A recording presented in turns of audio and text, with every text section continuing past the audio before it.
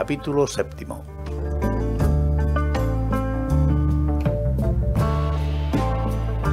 Entre ellos tres no cabían disensiones. Cada cual acataba de antemano el lugar que le correspondía en la pandilla.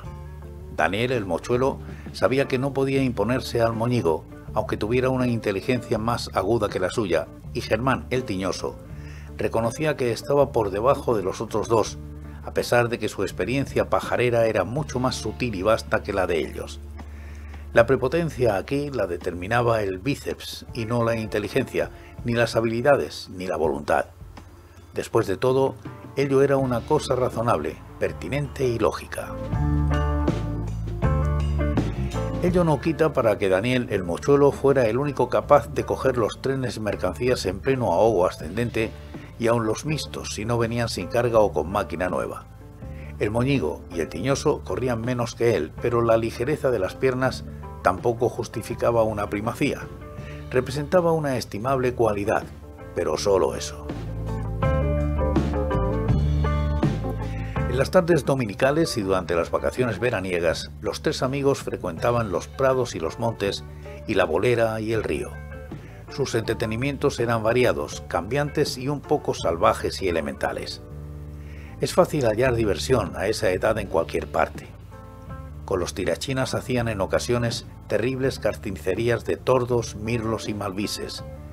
Germán el Tiñoso sabía que los tordos, los mirlos y los malvises, al fin y al cabo, de la misma familia, aguardaban mejor que en otra parte, en las zarzamoras y los bardales, a las horas de calor. Para matarlos en los árboles o en la vía, cogiéndolos aún adormilados, era preciso madrugar.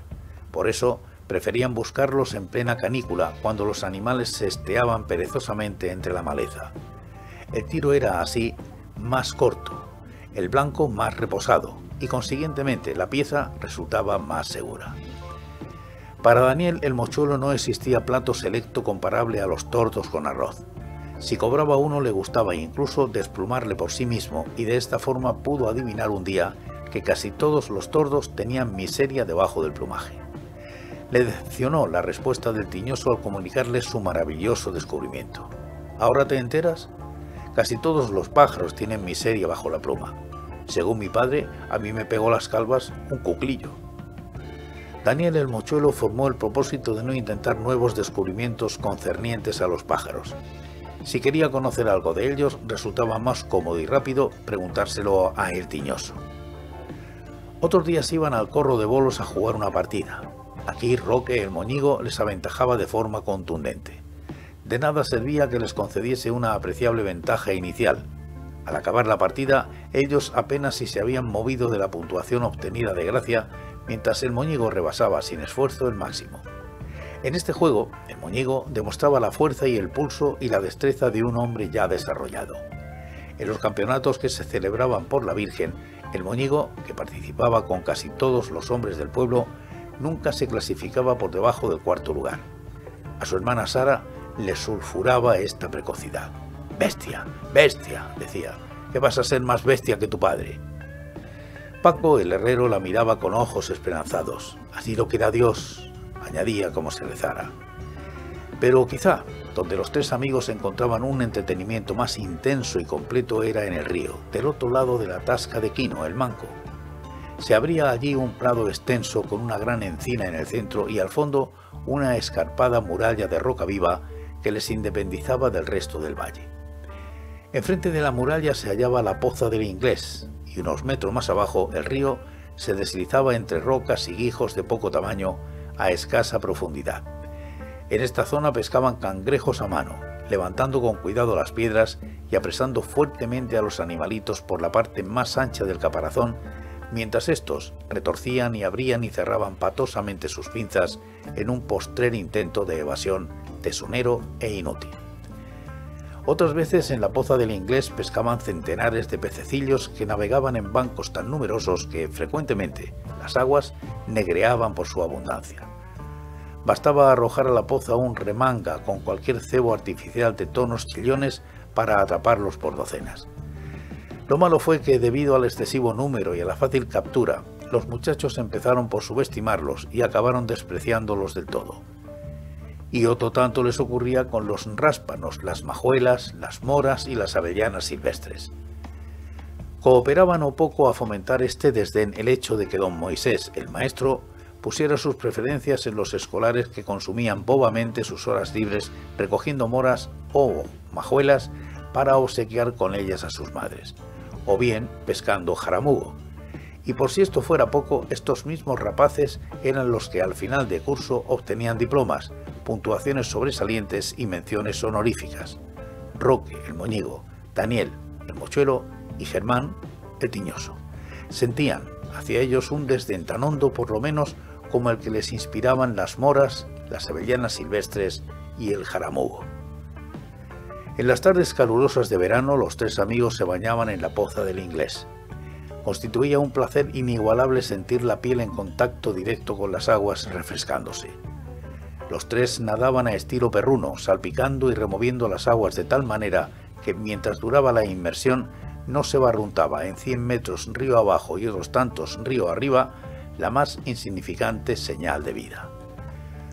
Una de estas tardes, mientras secaban sus cuerpecillos tendidos al sol en el prado de la encina, Daniel el mochuelo y Germán el tiñoso se enteraron al fin de lo que significaba tener el vientre seco y de lo que era un aborto. Tenían entonces siete y ocho años respectivamente y Roque el moñigo se cubría con un remendado calzoncillo con lo de atrás delante y el mochuelo y el tiñoso se bañaban en cueros vivos porque todavía no les había nacido la vergüenza. Fue Roque el moñigo quien se la despertó y aquella misma tarde.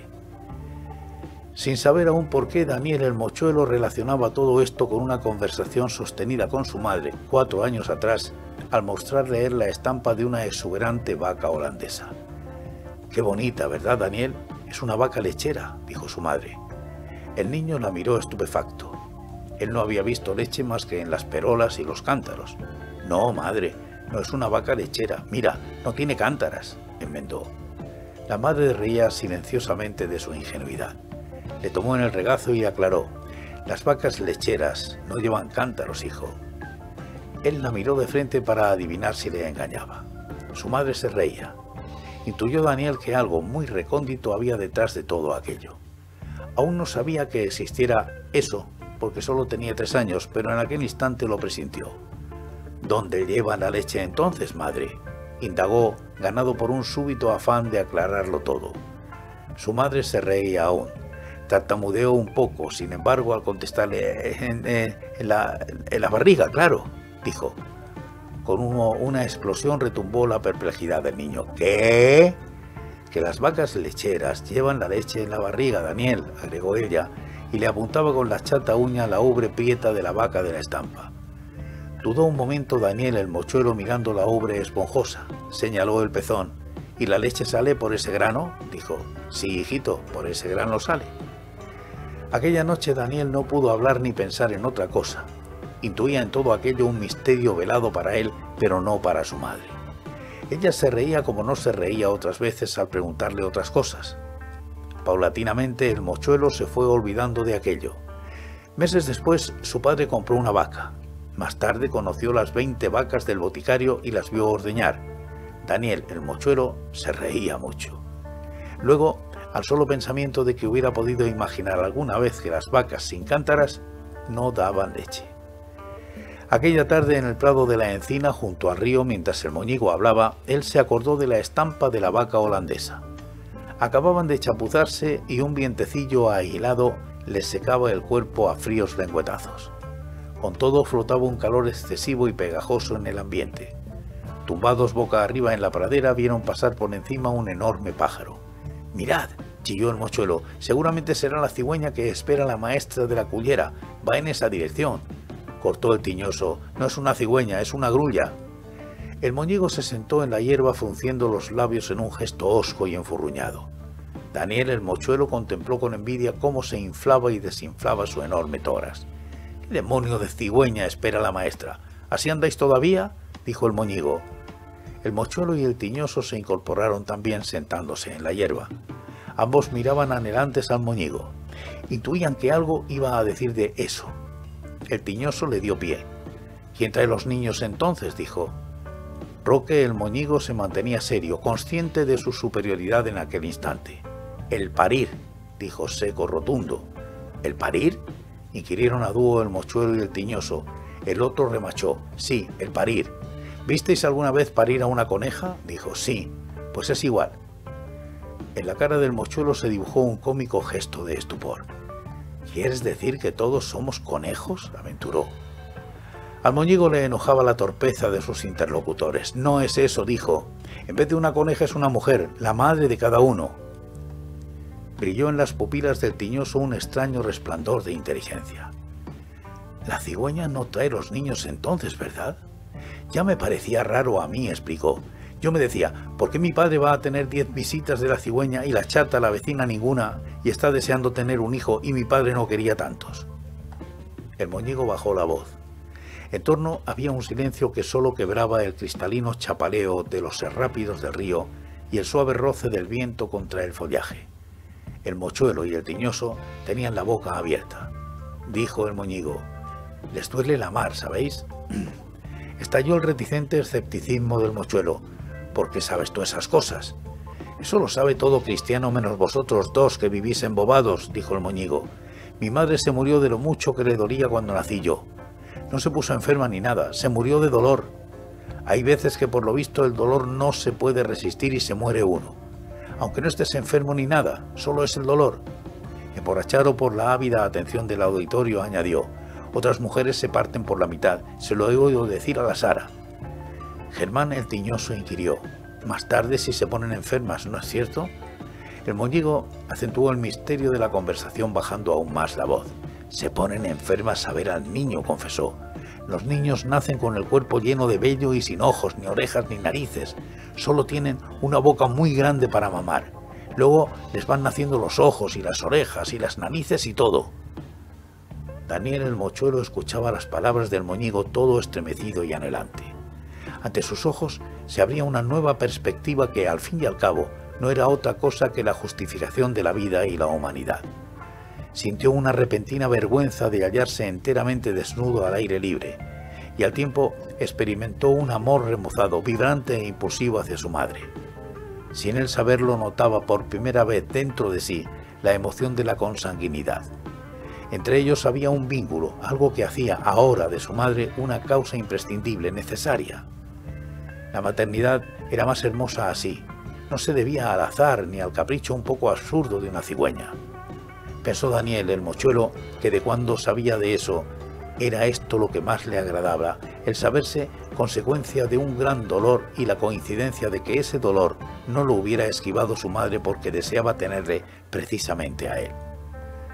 Desde entonces miró a su madre de otra manera, desde un ángulo más humano y simple, pero más sincero y estremecido también.